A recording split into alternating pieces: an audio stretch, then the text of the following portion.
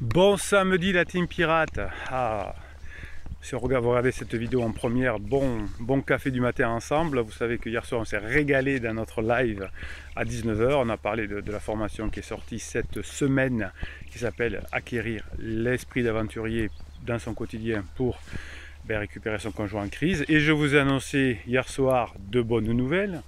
La première, c'est que vous avez une formation express qui sort aujourd'hui, qui s'appelle Comprendre l'ego de crise et de votre conjoint et y répondre. Hein, comment euh, combattre finalement, hein, comment, comprendre, comment danser avec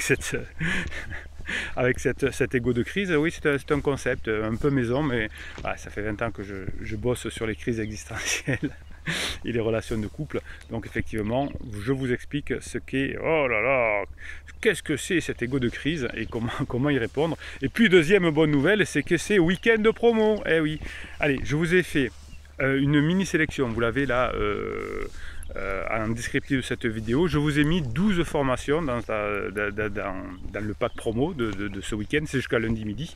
Je vous ai mis 12 formations, et eh bien vous en choisissez 3 pour 129 euros. Oui, c'est ridicule, je sais. Trois formations pour 129 euros.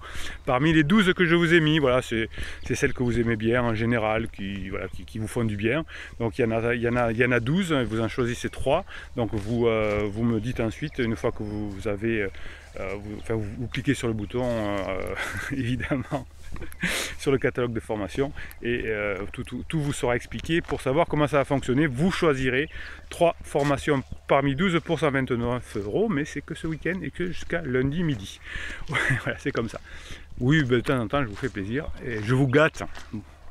Aujourd'hui, on va parler du regret qu'ont les personnes en crise d'être tombées amoureux de, euh, de, de pansements, de petits choux. Qu'est-ce qui fait qu'au euh, bout d'un moment, on regrette, on, regrette, on regrette ceci? On dit souvent que l'on tire des apprentissages des mauvaises relations. Effectivement, une relation pansement criseux est toujours une mauvaise relation parce qu'elle est, c'est une relation qui est là pour les mauvaises raisons. C'est pas pour créer quelque chose, mais c'est pour comme j'ai un sentiment d'urgence, comme j'ai un inconfort, je me trouve un petit chou, je me trouve un pansement qui va m'aider à, mieux vivre. Je ne sais pas si je vous ai... Non, je vous ai pas encore montré les temps ce matin. Regardez. On arrive au mois de juin. On n'a pas eu encore beaucoup de beau temps. C'est terrible ça. Regardez. On est encore dans le sombre ce matin. Hein. bon. Donc qu'est-ce que... Bruno, on s'en fout. Dis-nous pourquoi on regrette la relation, euh, la relation pansement. Eh bien, euh, comme on a choisi la, relation pour des mauvaises raisons, pour diminuer son inconfort, la relation ne va pas pouvoir se, construire sur, euh, euh, sur, un projet de construction puisqu'elle s'est produit sur un inconfort. Et effectivement, comme euh, l'inconfort, votre conjoint pense qu'il vient de vous, comme vous êtes un pirate, que vous faites les formations, que vous profitez du pack promo de ce week-end, eh bien, il n'y aura plus d'inconfort avec vous.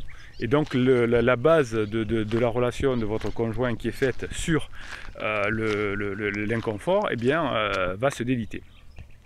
Donc le regret d'être tombé amoureux, et évidemment euh, une expérience tout à fait commune chez, euh, chez les personnes qui, ont pris un pansement. C'est pour ça que certains même disent Ah non, mais c'est une bonne idée, mais c'était parce que c'était pas le bon pansement. Donc ils prennent un pansement 2, 3, 4 jusqu'à l'épuisement total.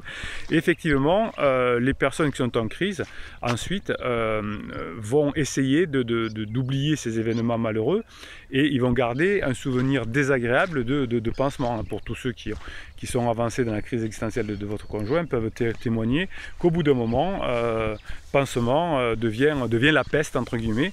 Euh, je, faisais un coaching cette semaine avec quelqu'un qui a surpris euh, je ne sais par quel hasard le mail qui a envoyé sa, criseuse à pansement, le traitant de tous les noms, qu'il a manipulé, qu'il avait, qu'il a fait souffrir, etc.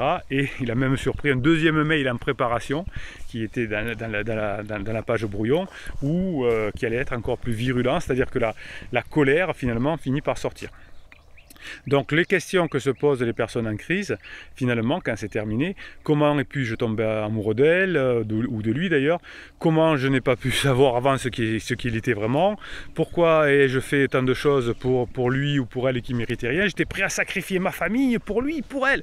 Non, vous étiez juste un inconfort, et effectivement, votre, souvent le, pansement, qui est lui-même mal construit, ne veut pas d'une femme ou d'un homme marié avec des enfants.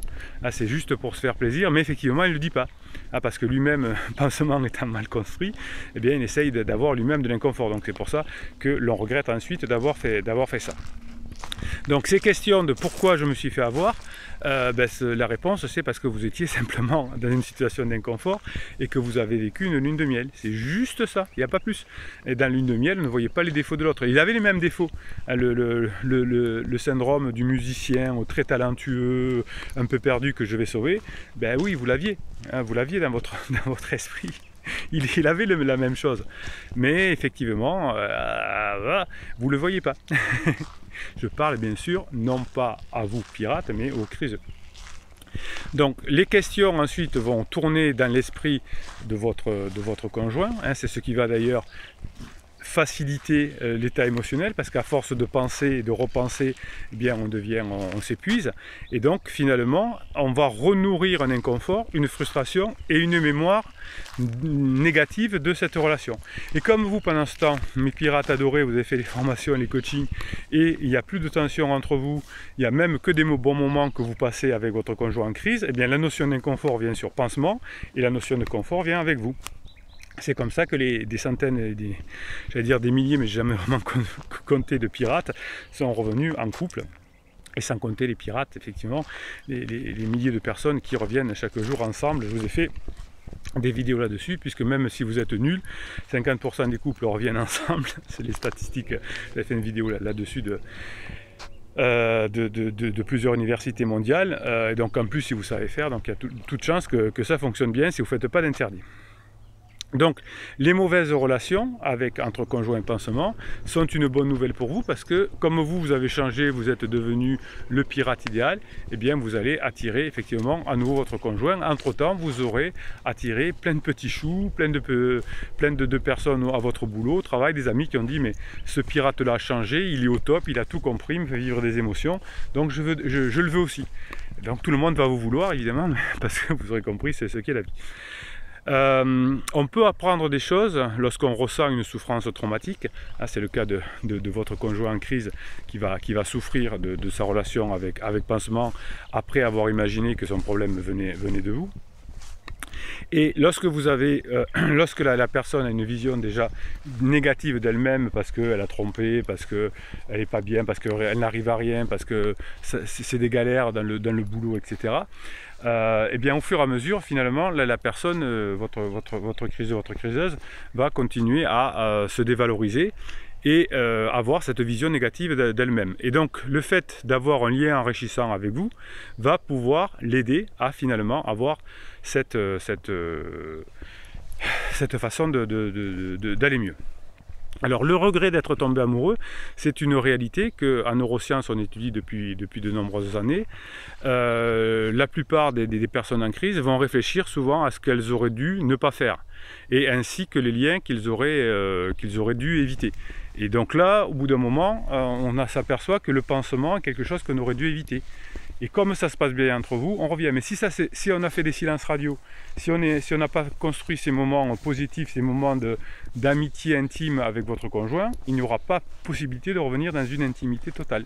Hein, donc c'est parce que vous allez créer ces bons moments avec votre conjoint qu'au moment où on fait son mea culpa et on voit que ça n'amène à rien d'avoir des des pansements, eh bien euh, c'est parce que vous, ça va bien entre vous que euh, l'on va pouvoir euh, recoller les morceaux.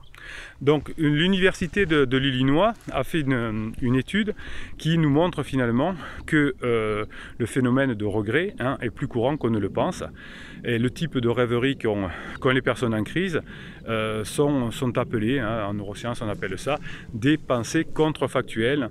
Hein. il est intéressant d'ailleurs de savoir que les femmes et les, et les hommes qui ont une relation pansement ont la plupart du temps une formule de regret. Dans le champ de neurosciences, on s'intéresse à plein d'expériences là-dedans et le regret et la pensée contrefactuelle ont un impact majeur sur le bien-être émotionnel de votre conjoint en crise, sur les prises de décision qui n'arrivent plus à faire, sur la régulation du, comportement qui est en up et qui est en down, et bien, sûr sur la santé mentale qui entraîne un épuisement. Donc la pensée contrefactuelle euh, va faire qu'au fur et à mesure, votre conjoint va s'épuiser. Donc il est inutile que, des, amis euh, euh, faussement inspirés ou des mauvais psys disent à votre conjoint crise ne t'inquiète pas, on apprend toujours des mauvaises relations, c'est pas grave, c'était pas le bon, tu as choisi un autre, ton mari de toute façon il était pourri. Euh, ben, tout ça, ça sert à rien, hein, parce que quand on vit une grande souffrance, on n'écoute pas ce que disent les autres. Donc le regret d'avoir eu un pansement, d'être tombé amoureux d'un pansement, ne vient pas seulement d'un sentiment de frustration d'avoir investi du temps et des émotions, mais aussi d'avoir fait des choses qu'il ne méritait pas à ses enfants, à son conjoint, etc. Hein, donc on ne le pas. Et donc on a un phénomène complexe qui va, qui va amener finalement à l'épuisement. On se sent mal d'avoir abandonné ses rêves quand on est en début de crise et on se sent encore plus mal d'avoir abandonné sa famille en fin de crise. Et c'est pour ça qu'on est euh, complètement épuisé. La personne qui, sort de, la, crise existentielle peut, je l'ai vu, déjà regretter parfois, hein, pardon, pas déjà, mais parfois, de ne pas s'être battu suffisamment pour, euh, pour avoir résisté à cette relation. Et donc, euh, on en veut à son pansement finalement de nous avoir manipulés. Et on s'en veut aussi d'avoir commis des erreurs, d'avoir négligé sa famille. Donc la repentance euh, va arriver après la phase d'épuisement, hein, ce qu'on appelle la phase de regret. Vous avez une, une, formation sur la phase de regret qui précède la phase des retrouvailles, qui fait que finalement, on, est, on essaye de clarifier ce qui fait le plus mal. Et ce qui fait le plus mal, c'est pas de vivre avec sa famille, surtout que vous, vous avez fait des progrès pendant la crise de votre conjoint, mais c'est finalement de mentir. Donc le, regret euh, de la relation permettra finalement, avec cette émotion du repentir, hein, cette, pension, cette, pensée contrefactuelle, eh bien finalement, elle va au départ, cette pensée contrefactuelle, bloquer votre conjoint qui ne veut pas revenir, qui ne sait plus où l'année, qui, est fatigué, etc. Et puis petit à petit, euh, le déblocage se fait et la lourdeur de la tristesse euh, sur, euh, sur, sur, le passé finalement où on s'est aperçu qu'on a fait du mal à tout le monde mais que le conjoint n'y était pour rien, et eh bien finalement ces émotions de grande souffrance, d'épuisement vont pousser euh, comment dirais-je, votre criseux à réagir. Et finalement tout ce qui, tout ce qui, qui, vous a fait du mal va dégager évidemment pansement aussi. Et c'est pour ça qu'ensuite après euh, la crise du conjoint très souvent euh, votre conjoint va devenir plutôt collant un pot de colle parce qu'il va falloir qu'il finalement petit à petit ça va pas se faire d'un seul coup mais qu'il comprenne que euh, cette culpabilité finalement n'est pas, pas liée à vous mais à ses erreurs donc la personne euh, en crise euh, prend conscience que la relation avec pansement n'a pas apporté de bonheur. Donc elle ressent du regret et même de la colère d'avoir mis des espoirs dans quelque chose qui n'a abouti à rien. Et donc la situation amène de la culpabilité, de la honte, hein, évidemment. Euh, à, partir du moment où on s'aperçoit que pansement nous a trompé, etc., qu'on imagine ça. Et finalement la, la, méchanceté, la colère qui était tournée vers vous est maintenant tournée vers pansement. Et comme entre-temps vous avez fait ce qu'il faut vous pour, pour, être des super pirates, eh bien on va pouvoir retomber amoureux, passer dans la phase 4 et s'engager dans, dans la vraie relation de la phase 4, la relation de cœur, et qui va faire que ça va être la, norme de votre, de votre nouvelle relation est le moment où on est dans la grande intimité. Parce qu'aimer l'autre, c'est avant tout se battre contre ses émotions négatives, c'est travailler aussi sur soi, et bien au fur et à mesure que votre conjoint va être bien avec vous, et bien il va avoir envie d'être encore mieux, de travailler sur lui, et euh, on ne sait jamais ce qui va se passer la suite dans la vie, hein. c'est la morale d'une crise existentielle, votre conjoint qui vous avait dit à l'époque c'est fini, je t'aime plus, je reviendrai pas, et qui est revenu, apprendre la leçon effectivement qu'on ne peut pas savoir ce qui va se passer dans l'avenir, et que quand on est sûr de quelque chose, parce que notamment on est en lune de miel, eh bien on s'aperçoit au fur et à mesure que tout ça euh, est, gageur et que c'est finalement les bons, les bons moments de, façon régulière que l'on veut avec quelqu'un et pas des, relations qui vont euh, juste baser sur l'inconfort. Eh bien c'est votre conjoint va comprendre ça. C'est dans la durée que l'on est heureux. Voilà, donc vous réfléchissez à tout ça, hein. réfléchissez au sentiment là de regretter une relation, pensez au pensez aux pensées, pensez aux pensées tout ça. Réfléchissez-moi tout ça et ça vous donnera un coup de boost. Allez, on se retrouve dans quelques minutes, dans quelques secondes, dans quelques instants pour parler des mèmes que vous m'envoyez euh, sur, mon, WhatsApp toute la journée. Je suis pas bien réveillé ce matin, je sais pas que je bafouille beaucoup, je trouve. Bruno, c'est pas bien, on se calme. Donc, quelques mèmes que vous m'envoyez sur mon WhatsApp et que je vous mets sur votre canal Telegram Bruno Marshall, sur l'application Telegram. Vous avez un canal Bruno Marshall, c'est le vôtre. Hein, vous allez être heureux avec, euh, avec tout ça. et ensuite, on se fait un mini coaching. Hein, voilà, on se régale, on connaît la, fin de la crise ici, euh, on est patient, on, se forme pour pouvoir passer des bons moments et être patient pendant la crise du conjoint, et ensuite à la fin, on revient ensemble.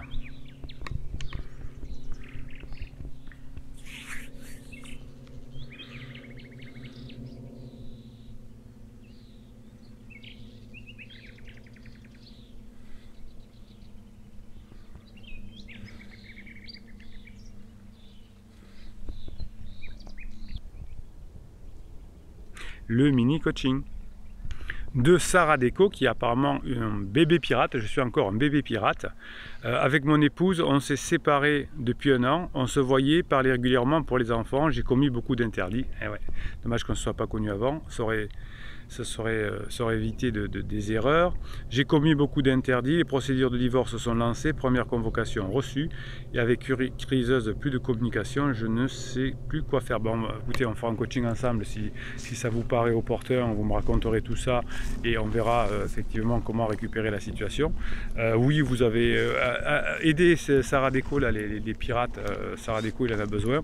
il y a des, si vous suivez les, vidéos, si vous suivez les formations, hein, vous savez qu'il y a des personnes qui, reviennent ensemble même longtemps après. Je vous ai fait cette euh, vidéo euh, cette semaine sur euh, Gilo et Ben je ne sais pas si je le dis bien, Ben qui se retrouvent après, après plusieurs années, après avoir annulé le, mariage au dernier moment, d'avoir fait des scandales, de s'être insultés, etc.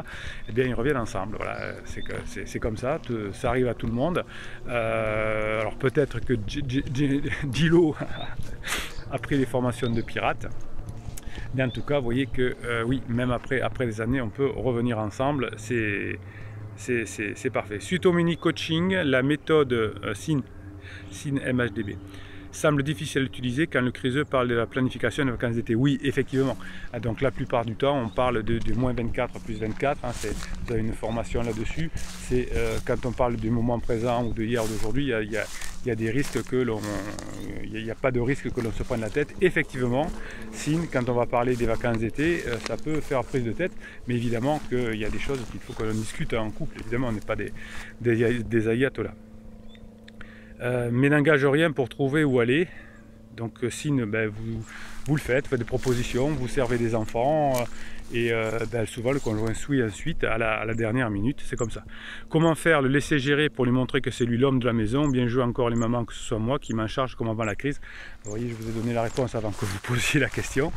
Vous organisez des choses avec les enfants, vous en parlez avec les enfants et euh, vous laissez quelques, petites choses à faire à votre conjoint. L'idée c'est que vous passiez, quoi qu'il arrive, des bons moments ensemble, hein, c'est le, plus important, que ce soit lui qui ait choisi ou pas. Vous savez que quand quelqu'un est en crise, c'est comme quand votre endo est en crise, il ne faut pas trop attendre sur ces actions. Ah, c'est à vous de faire, oui, effectivement, c'est comme ça. Le tout, c'est que vous partiez en vacances ensemble et vous, que vous passiez des bons moments. Bien compliqué, non, vous, ah, vous, vous, y allez, hein, vous, faites. Quand vous avez en face de vous quelqu'un qui vit dans l'instant présent. Oui, ben oui, ça, ça, je vous le dis, c'est pour ça que je vous dis la méthode des moins 24 plus 24, c'est parce que votre conjoint ne sait pas ce qu'il va faire dans quelques, dans quelques jours. La méthode des moins 24 plus 24, eh bien, pourquoi je, vous l'ai mis en place? Parce que c'est ce qui correspond le mieux aux discussions avec, conjoint, avec votre conjoint. Quand le mardi vous lui dites qu'est-ce qu'on fait ce week-end, ou je te propose ce week-end de faire ça, c'est trop loin. Quand vous le faites le vendredi, ça va. Eh ouais, c'est comme ça. Ah ben c'est pas moi qui ai inventé les crises existentielles. Moi je vous permets de les gérer, je vous permets de les comprendre, je vous permets de faire en sorte que la crise existentielle ne soit pas la fin du couple, mais juste un passage. Oui, c'est comme ça. Ben, c'est comme ça, on est, on est dans l'instant présent parce que le cerveau euh, passe son temps à se reconstruire et est très stressé. Voilà, c'est comme ça, on n'y peut rien. Euh, si vous avez le mail de Dieu, vous pouvez lui demander pourquoi il a fait des crises comme ça. J'en ferai bien un petit dernier, si j'en trouve un. Ah, tiens, Lizarbe Stéphane, qu'est-ce qu'il nous dit? J'adore découvrir en même temps. Ah ben non, si. Aujourd'hui, ma situation est délicate car ma femme ne communique pratiquement plus. Euh, elle m'impose son silence radio. Ben oui, ben vous, l'appelez, c'est pas grave. Je travaille beaucoup sur moi, le moral est bien meilleur grâce aux formations, neurohypnose, au sport et bientôt déconfinement. Je ne doute pas de moi, bien au contraire. Je me dis que le temps est à ma faveur, mais on se demande quand même si son conjoint va changer un peu ou se réveiller. Euh, oui, bien sûr, toutes les crises se terminent, que ce soit des crises sanitaires, des crises économiques, des crises existentielles, toutes les crises se terminent. Effectivement, quand on est à l'intérieur, on ne sait pas, par définition, comment, euh, quand ça va se terminer. C'est pour ça que vous avez acquis cette semaine l'esprit d'aventurier. Bon, allez, je vous laisse aller voir le catalogue avec les, les, trois formations euh, offertes pour, dans le pack, là, parmi les, 12 que je vous ai sélectionnés. Vous allez en descriptif de cette vidéo. Vous avez un descriptif de cette vidéo comment faire les coachings. Ah, ça, c'est pour, pour Sarah Déco et les autres. Eh ben, écoutez, je vous souhaite un bon week-end. On se retrouve à midi pour, euh, ben, pour faire l'apéro ensemble. Profitez bien du pack promo et aussi de la formation qui est vous l'avez bien compris, vous l'avez bien compris. Qu'est-ce que c'est Qu'est-ce que c'est la crise d'ego hein, Ou l'ego de crise, comme vous voulez, hein, vous le prenez dans tous les sens. Quand vous avez compris comment gérer l'ego de crise de votre conjoint, vous allez vous régaler. Allez, Bruno Marshall, il vous dit à tout à l'heure à midi.